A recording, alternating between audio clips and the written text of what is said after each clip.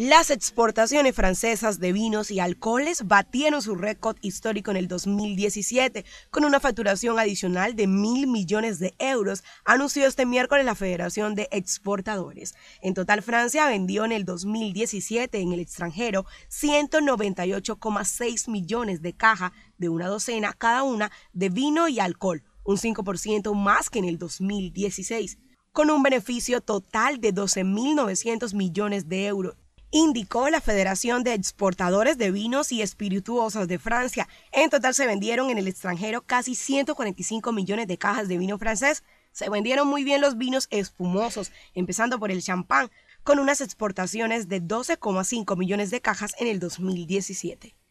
El país norteamericano se mantiene como primer mercado para el alcohol francés, con una facturación que ya superan los 3 mil millones de euros.